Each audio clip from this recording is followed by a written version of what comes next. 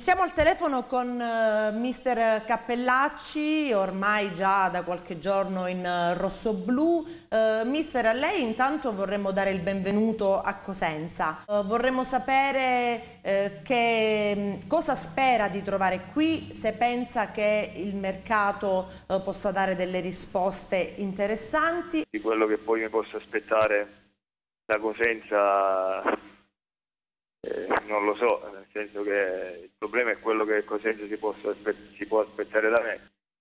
Cosenza è sempre stata una piazza di quelle trascinanti per, per tutti. Adesso togliendo un pochino la lingua, non voglio essere troppo ruffiano, eh, però è quello che penso. Bisognerà poi chiaramente fare del nostro meglio, parlo di noi addetti ai lavori, principalmente la società per quello che riguarderà la squadra. Bisognerà fare del proprio meglio, sia in, in, serie di mercato che, che, e ancora di più quando inizieranno poi i, i giochi. Eh, però di questo non è dato sapere, la buona volontà c'è e vediamo che cosa sappiamo fare.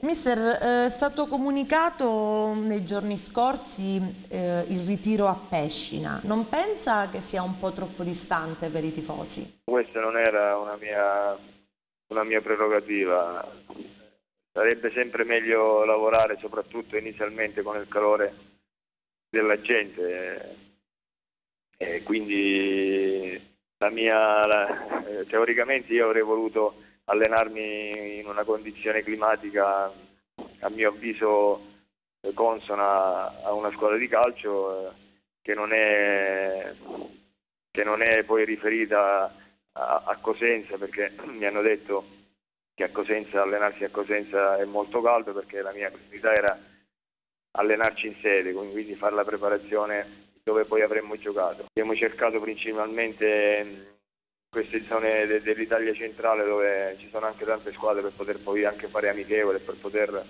insomma, avere un po' di vantaggi.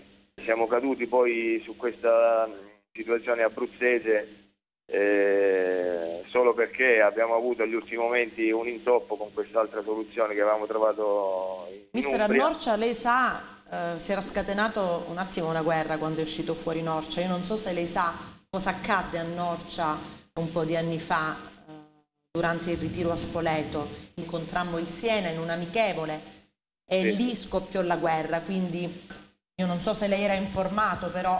Sì, sì, ero informato, tra l'altro io in quel periodo ero il responsabile giovanile del Siena, eh, tra l'altro, quindi avevo saputo eh, di, di, di, di, queste, di queste situazioni poco carine.